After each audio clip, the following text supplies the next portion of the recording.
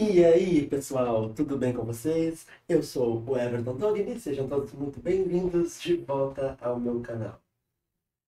Hoje a gente vai falar sobre o início, a primeira partida do Campeonato Mundial de Xadrez da FIDE 2023. O evento de xadrez clássico mais importante do ano, que vai substituir o nosso querido, nosso genial a máquina, um dos maiores jogadores de todos os tempos, o norueguês Magnus Carlsen.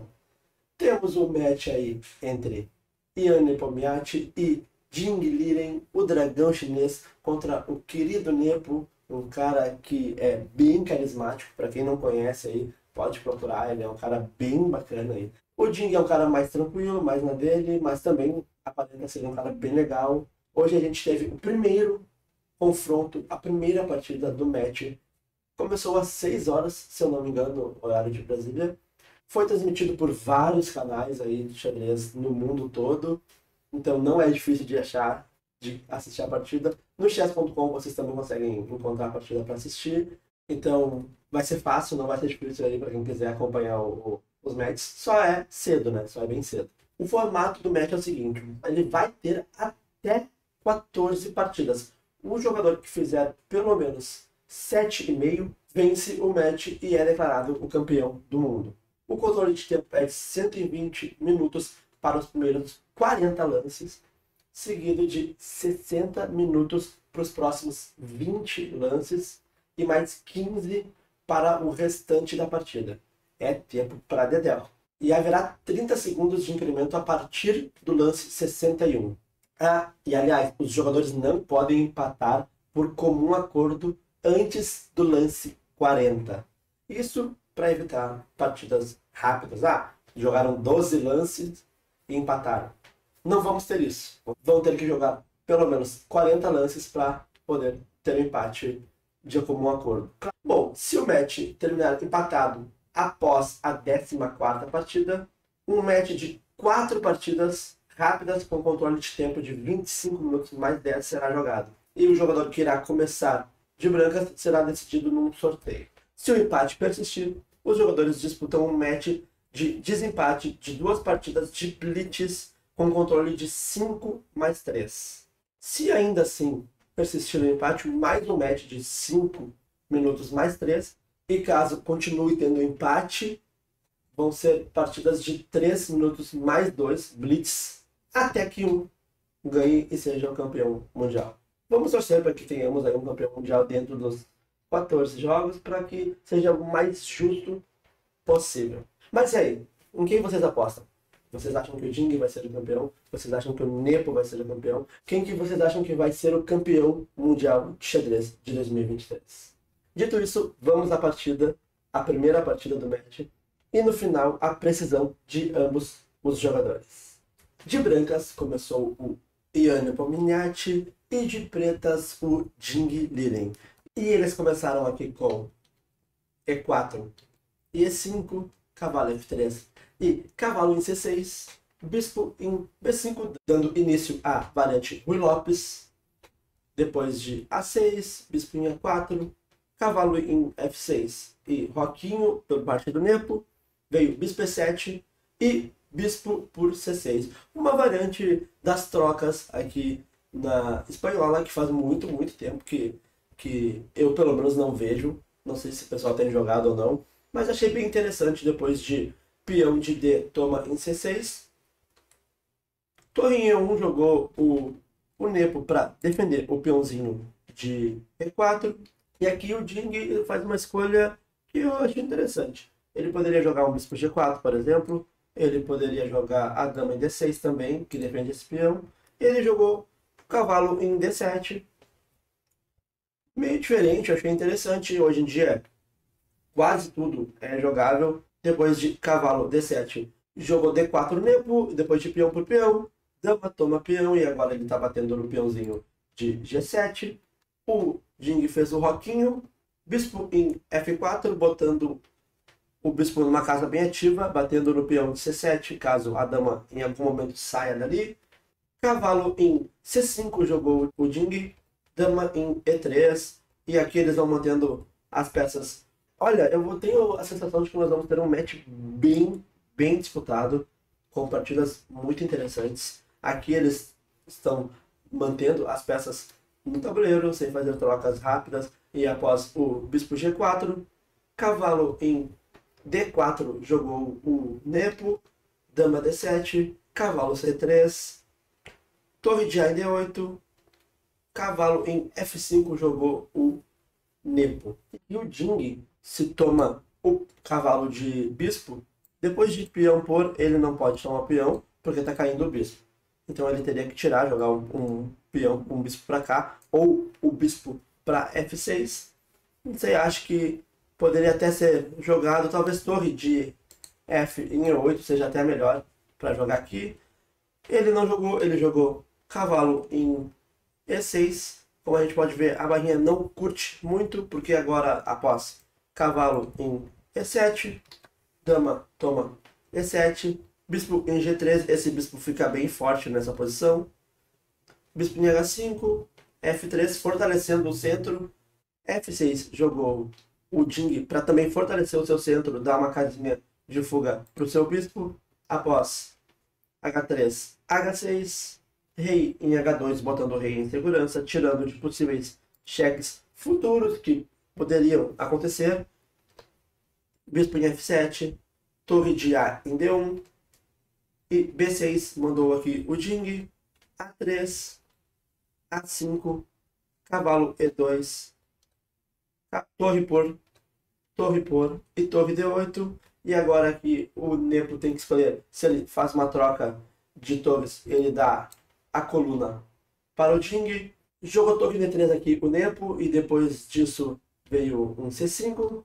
Dama D2 para disputar essa coluna. E aqui vem um leve erro do Jing, que foi C6. C6 que aparentemente é um erro, porque deve eu imagino que abre para esse bispo. Em algum momento poderia ter um lance como bispo em C7 e batendo aqui nessa estrutura de peões das pretas, que seria bem, bem desagradável.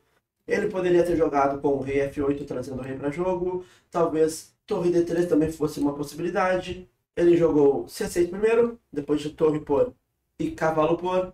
Dama em F4, mantém o Nepo com a vantagem, como a gente pode ver ali. Agora a bainha dá 1.28 de vantagem para o Nepo.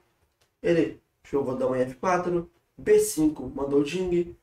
Dama em B8. Essa dama vai tentar bater aqui e pegar alguns dos peõezitos que estão aqui na ala. A gente pode perceber que o Nepo ele tem mais atividade para suas peças aqui. O Jing está um pouquinho mais defensivo. As peças das brancas parece que jogam um pouco mais fácil nessa partida, depois de rei em H7, descravando o cavalo, que ficou preso aqui com o rei aqui e a dama atrás.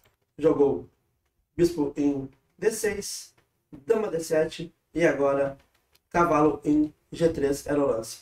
Aqui, se, por exemplo, toma o peão, dama entra em D2 e aí é uma posição chata, talvez tivesse que jogar um cavalo em D4 mas após, por exemplo, um cavalo em E6, cavalo por e bispo por, a posição aqui fica meio chatinha, apesar de um peão a mais das brancas, tem que tomar cuidado para não perder os peões da ala da dama. Talvez um dama G3 fosse possível, trazendo a dama para jogo. Um dama C7 também jogando um bispo em F 8 em algum momento, também pudesse ser possível, mas aqui eles jogaram depois de Dama D7, o Nepo joga cavalo em G3, trazendo esse cavalo aqui para o jogo, quer botar o cavalo em F5 e após isso ele jogou cavalo em E6, F4 mandou o Nepo, a barrinha não gosta muito de F4, queria C3 para não deixar o cavalo entrar aqui provavelmente, mas após F4 jogou H5 o Jing, C3 agora veio. Agora o Jing poderia jogar, por exemplo, com H4 e após H4, se cavalo em F5, poderia vir, vir um bispo em G6 e se toma o peão, perde esse peão central aqui que é mais importante e a partida ficaria bem equilibrada, ainda que tivéssemos luta, né? Mas aqui depois de C3 do Nepo, O Jing mandou C4, acho que ele quer liberar o cavalo da defesa do peão de C5, e após isso H4 mandou Nepo, porque ele percebeu que esse lance H5 poderia estar chegando e seria desagradável. Mandou dama em D8, o Jing querendo trocar as damas, após dama em B7. E aqui após dama B7 você pode pensar, bom, mas agora está caindo esse bispo, né? Porém, se dama toma em D6, vem dama toma F7, como a gente pode perceber, as brancas estão ganhas, porque agora, se por exemplo o cavalo toma F4, simplesmente cavalo F5 e as pretas podem abandonar. Então tem que tomar muito cuidado, porque não é fácil aqui, pessoal. Não é fácil a posição. Depois de dama B7, tirou o bispo do ataque da dama, veio cavalo em F5, dama D7, dama B8 e dama D8 mandou o Ting o Nepo, para não repetir a posição, trocou as damas, mandou o cavalo para D4. O cavalo do Jing veio para B7, ameaçando o bispo. Após E5, rei G8. O, o, claro, o Nepo não quis tomar o peão, porque aí deixaria as brancas numa posição muito melhor com o peão avançado e livre para promoção. Claro, tem bastante perna para defender, mas Sempre bom não deixar um peão do adversário livre. Após rei G8, rei em G3 mandou o Nepo, bispo D7, bispo em C7, cavalo C5. Qual é que era, o que, que o, o Jing pensou aqui? O Nepo quer avançar, né? Por isso que ele tirou o bispo dessa casa aqui, para não deixar o cavalo ameaçar ele. Porque assim, se por exemplo avança agora, simplesmente bispo por E6 e quando o cavalo toma, o cavalo toma aqui e as pretas estão melhores. Aí veio cavalo C5, bispo por A5, rei em F7, bispo B4, cavalo em D3, agora pegando o bispo e batendo no peão de B2. Esse peão não tem defesa. Após E6, bispo por e cavalo por C6, bispo em D7, cavalo D4, cavalo toma em B2, rei F3, cavalo D3 e G3. A posição aqui ela é bem equilibrada, tanto que após cavalo em C1, o rei veio para E3 e os jogadores se olharam, pensaram e empataram a primeira partida do match de 2023. Não foi uma partida sensacional de ambos os jogadores, eu digo, pelo ataque, né? Não teve ataques sensacionais, nem nada disso, até não vai ter nesse match provavelmente, mas foi uma partida disputada. Eu achei que foi bem interessante a partida, uma primeira partida aí. O Nepo ficou um pouquinho melhor durante a partida, mas nada que fosse tão superior assim. Achei bem interessante a partida de verdade, inclusive a abertura eu achei legal. E espero que vocês também tenham gostado. É só a primeira, temos aí talvez mais 14 partidas, vamos esperar para ver.